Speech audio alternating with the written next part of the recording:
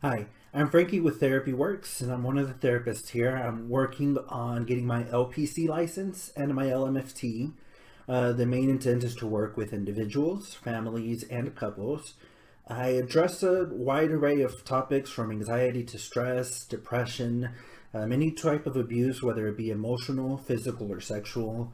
I work with sexuality uh, issues and anything that's relating to LGBTQIA+, um, veterans as well as I have a, a pass with the U.S. Air Force. My main belief is that people grow, they adapt, and they overcome.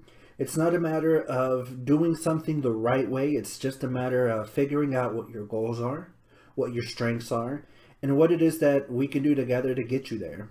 Teach you in such a way that you'll be prepared whenever these circumstances come up again.